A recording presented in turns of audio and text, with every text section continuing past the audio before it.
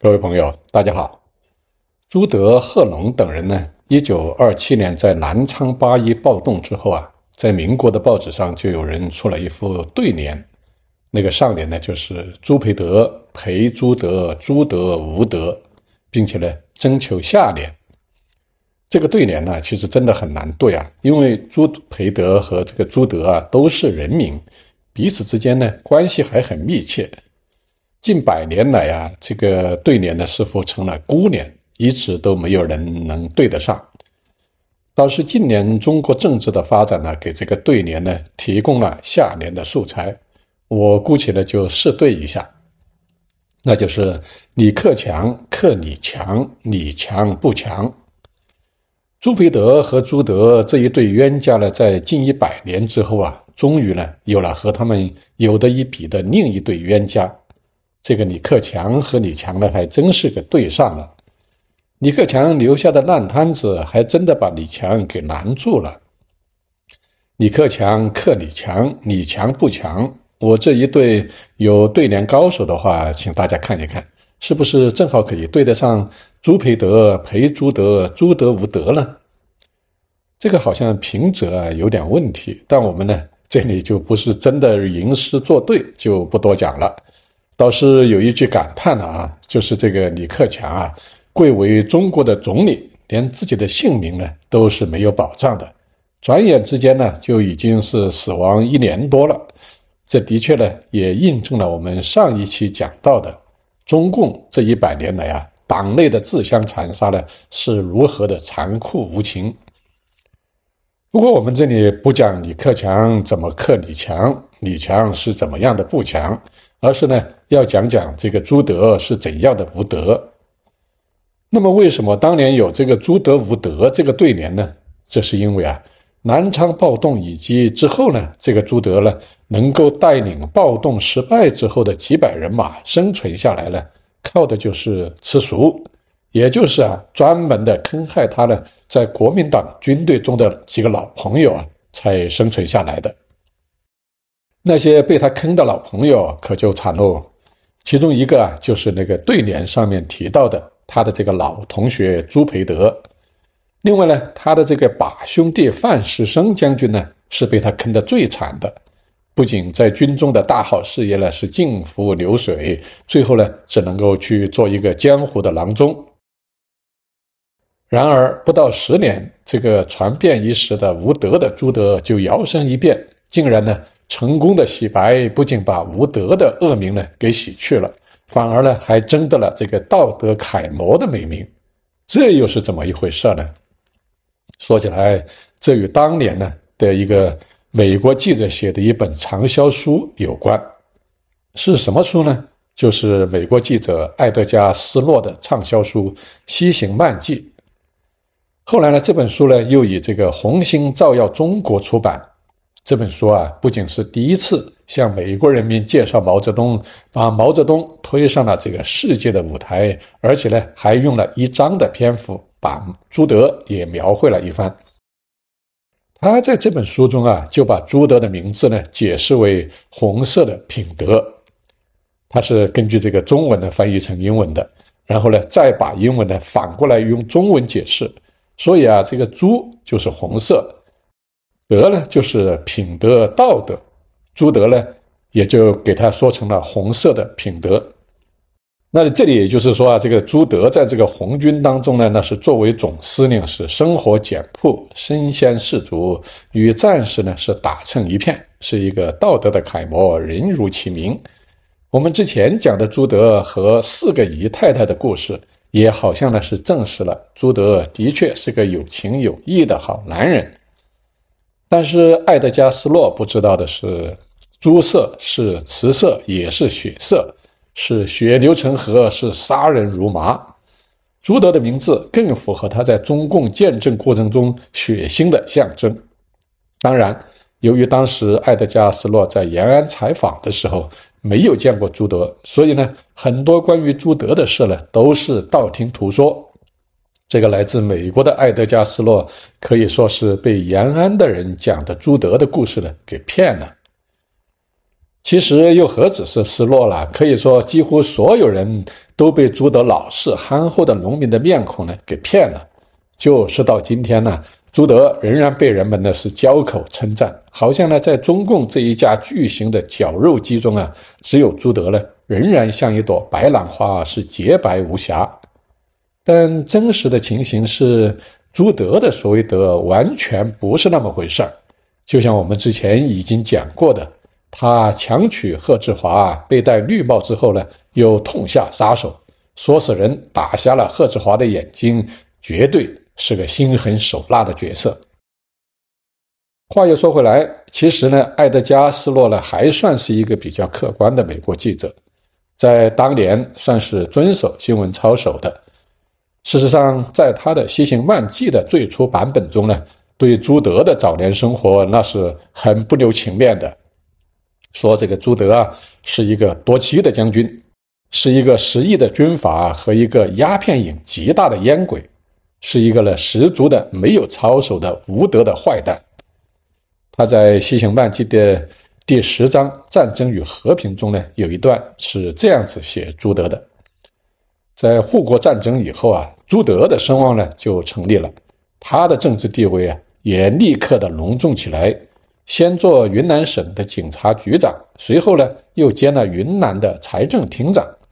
云南和四川的老百姓啊，都知道当时的官员呢，需要具备两个条件：第一，他们呢都是贪赃枉法的；第二，他们呢都是吸鸦片烟的。朱德那是两样都犯的。另外呢，他也是一个多妻的人，据说他呢一共有九个老婆。他为了他们和他的许多子女，在云南省城里造了一座极富丽的房子。我们可以说，他所渴望的一切，他都得到了：财富、权力、爱情、子女、英书梦、别人的尊敬，以及一个舒适的将来。所以，大家听了这个就知道，朱德呢有九个老婆的说法啊，最早的出处呢就是《西行漫记》。由于斯洛没有采访朱德本人，是听别人转述的。后来呢，经过修订的这个《西行漫记》之中呢。上面的那一段呢，说他什么贪赃枉法啊，说他什么吸食鸦片呢，以及有九个老婆的内容呢，都给删掉了。斯洛为什么要删掉朱德贪赃枉法、啊吸食鸦片以及有九个老婆的内容呢？是不是因为这些内容是错误的呢？我们这里呢，先不说朱德贪赃枉法以及吸食鸦片的事儿，只对朱德是不是真的有九个老婆的说法呢，简单的做一下分析。我们现在看到的朱德的家庭资料，都只能查到朱德呢是结过六次婚，这六个妻子呢都是有名可查的。似乎这个斯洛啊，最后删掉这个朱德九个老婆的说法呢，就是因为呢这个讯息呢是错误的。不过我还是倾向相信斯洛最初写的朱德有九个老婆的说法，因为呢。作为一个训练有素的记者，斯洛相信呢，不会只是听了某一个人的一面之词才下笔这样写的，而是呢，可能延安呢，人人都在传朱德有九个老婆这样的事儿。他知道人们对这种男女之事是很关注的，所以肯定是听过许多人都这样说，才把事这件事呢给记录下来，写进书里面的。其实我们对照之前呢，公楚讲的这个朱德到上海啊。遣散三个姨太太呢去留学的故事，就可以证实了朱德九个老婆的说法，并非是没有根据的。六加三不就是九个吗？只是这三个被遣散的姨太太没有留下任何的资料，最后呢就成了一个数字符号了。以朱德当年在四川和云南建立起来的这个事业和地位，以及他的一些生活习惯。他呢，这个是一天都不能没有女人的，所以呢，他带四个姨太太啊到上海去啊，其实是没有什么好奇怪的。所以朱德有九个老婆，那个可能性呢还是很大的。据说啊，著名的武侠小说大师金庸写的《鹿鼎记》中呢，韦小宝有七个老婆，他的原型呢就来自于这个朱德和刘少奇，因为啊。他们的这个打天下和多老婆啊，好像是有内在的逻辑的。这个刘少奇也和朱德一样啊，是一个多妻之人。不过他与朱德不同的就是，他虽然结过六次婚，每一次呢都是一个老婆离了或不在了才另外结婚的。这里我们提到这个金庸啊，我就再多说几句。他的这个十五本武侠小说啊，大家都知道那是独步天下，前无古人，也可能呢是后无来者。不过，如果大家只是把这些小说啊当成是纯武侠小说来看呢，就有些辜负了这个金庸的苦心了。事实上，他的这些小说基本上都是一些近乎这个政治预言的小说，同中国的这个历史啊，尤其是当时中国的政治人物啊，很多都是对得上号的。可惜的是，到现在我都还没有看到那些研究金庸的专家们呢，在这方面呢有所贡献。将来如果有机会，我或者呢也可以来讲一讲。不过这里有点跑题了啊，我们还是说回朱德。那么朱德到底有多少个老婆呢？由于我们已经查不到当年的资料，虽然我倾向于朱德比韦小宝还多两个老婆，但是由于查不到朱德另外三个老婆的任何的信息呢，我们也就只能把九个老婆的说法呢，当成是朱德在和这个朋友们呢摆龙门阵的时候呢。啊，是吹牛皮、讲大话。不管这个朱德有九个老婆也好，只有六个也好，其实呢，都可以证实朱德那真是无德的。不过其中呢，还是有不少的精彩故事。就像我们之前呢说过，这个贺志华和朱德的故事呢，就精彩无比。他呢，这个由于卷入了中共党内的这个权争啊，最后成了一个悲惨的牺牲者。说起来，我们现在之所以还可以还原朱德的几段婚姻呢，还得多谢呢来自美国的美女记者史莫特莱。她从这个一九三七年年初呢到延安之后，就对朱德啊进行了很长时间的采访，还写下了这个朱德的传记《伟大的道路》。我们在之前的故事当中呢就已经多次的提到了这本书。老实说，这的确呢是一本失败的传记。虽然我认为呢，中国在朱德的死前都没有能出版这本书是一大遗憾，是中国出版自由的一大讽刺。但是这本书呢，的确是可以当得上满纸荒唐言的评语，因为啊，书中基本上都是朱德的一面之词，而且是假话连篇。但是这个美女记者呢，对一些常识性的大话、假话都分辨不出来。再加上她完全呢又不去做调查，也不去求证，只是呢像一部录音机一样照抄照录。以我这个做新闻几十年的经验啊，这个史莫特莱的记者水准那是大可质疑的。虽然史莫特莱作为记者写这本传记呢是一个大失败，但是呢这本书也并不是完全一无是处，至少他的这个在对朱德女人方面的用心呢，那是超过其他方面的。对朱德的这个感情生活啊，假如我们啊假定这个朱德有感情生活的话，那这个史莫特莱还是留下了不少的第一手的记录的，甚至可以说啊，这个史莫特莱呢，以她是一个女人的这种敏感啊，对朱德的感情生活那是特别的感兴趣，可以说得上是穷追猛打。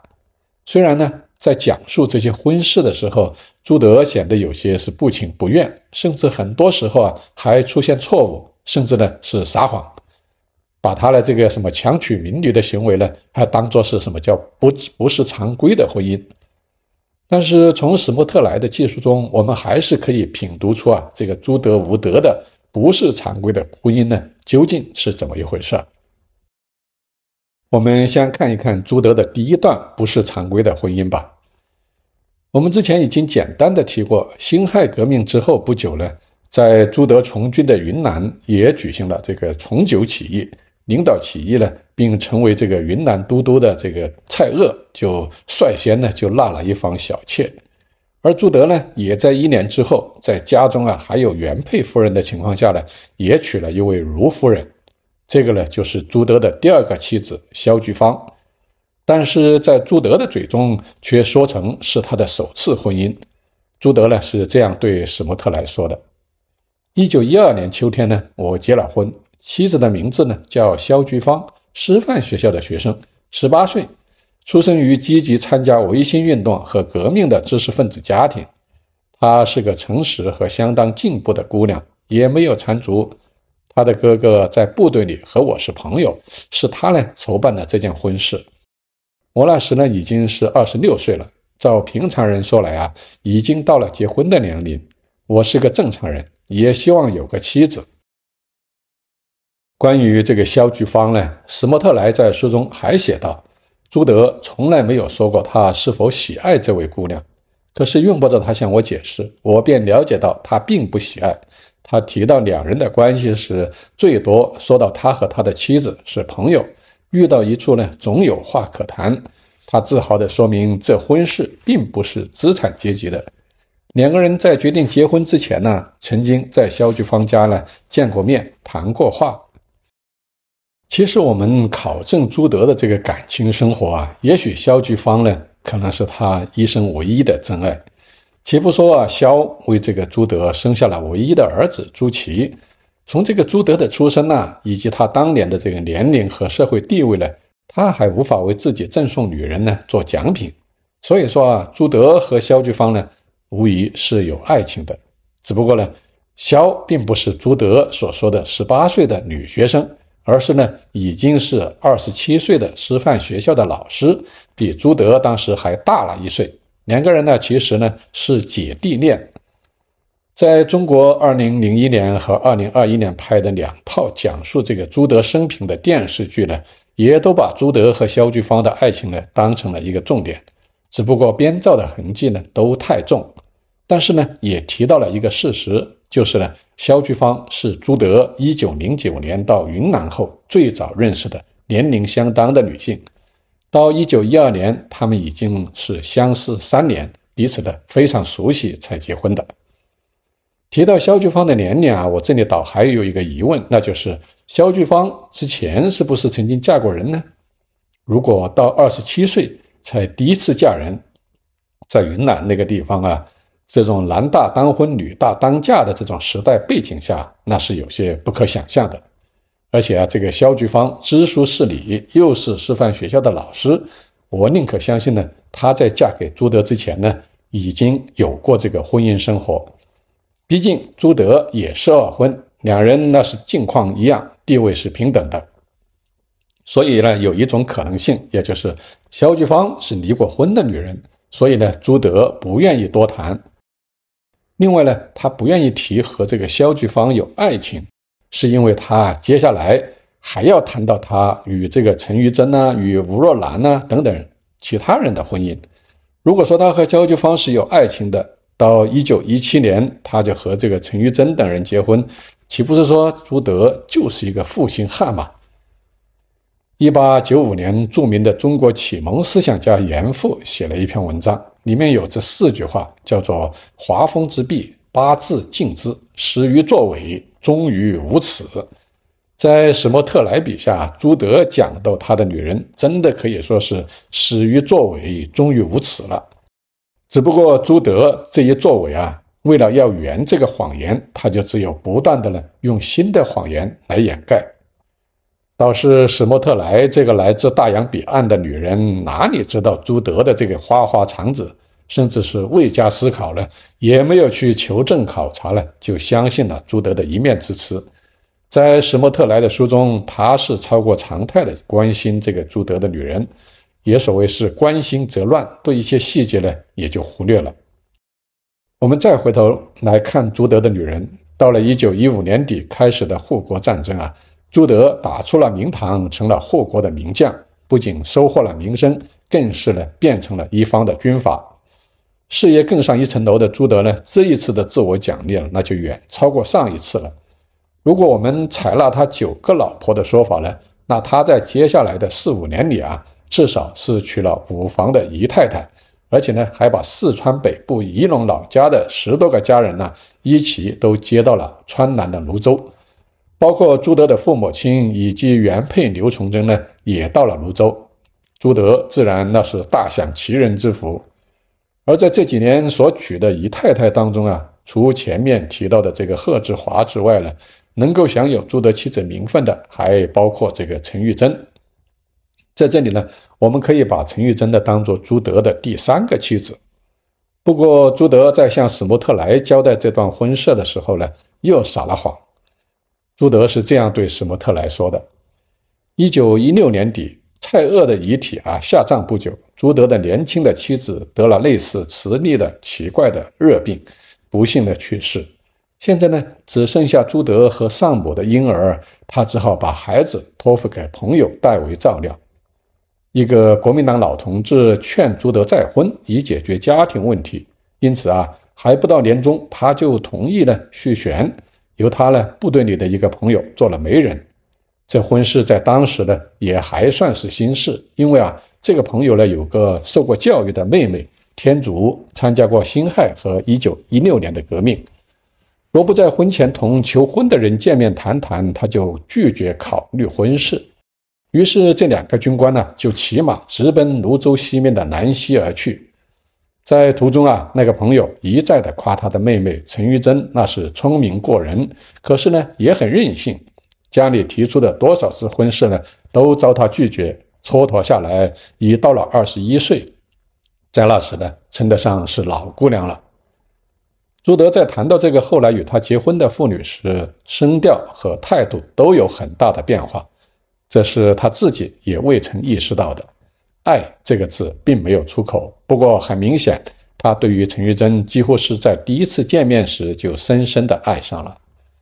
据朱德说，这个妇女并不漂亮，也不难看，可是呢，有一种无法形容的夺人的风度。在紧锁双眉，努力形容她的时候，朱德的声调极为柔和，而且呢，带有几分尊敬。他说啊，最吸引我的地方，大概是她的端庄、沉着和自信。此外呢，还因为他曾作为地下工作者参加过辛亥和一九一六年的革命。他出生于一个小康读书人家，很早就和革命运动呢有了接触。我们在谈话之中发现彼此都读过很多书，都爱好音乐。此外呢，还有许多共同的地方，现在一时呢也说不上来了。从那以后不久，我们就结了婚。他没有生小孩，所以我只有这一个孩子。以上呢是史莫特莱的描述。我之所以大段的引述啊，那是因为文中呢提到和这个陈玉珍的婚姻，朱德都是谎话连篇。我们只能说，那绝不是朱德的记忆错误，而是呢他有意呢用谎言去误导这个史莫特莱。